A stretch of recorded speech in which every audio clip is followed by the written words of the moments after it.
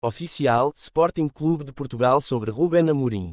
Comunicado. A Sporting Clube de Portugal Futebol, SAD, adiante também designada por Sporting SAD, nos termos e para efeitos do cumprimento da obrigação de informação que decorre do disposto no artigo 17º do Regulamento da União Europeia nº 596 de 2014, do Parlamento Europeu e do Conselho de 16 de abril, vem, no seguimento do comunicado divulgado ao mercado no passado dia 29 de outubro de 2024.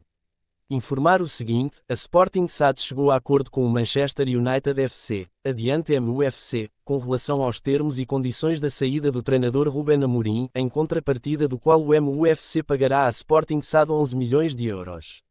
Adicionalmente, a Sporting SAD terá um benefício de 1.658.000 euros, relativos à extinção de direitos de crédito, registados como passivos e passivos contingentes, em consequência da revogação e renegociação de contratos referentes a comissões de intermediação. Lisboa, 1 de novembro de 2024. O representante das relações com o mercado. Concebidos em bordéis, amor ao Sporting e ódio ao. Rapaziada 1906,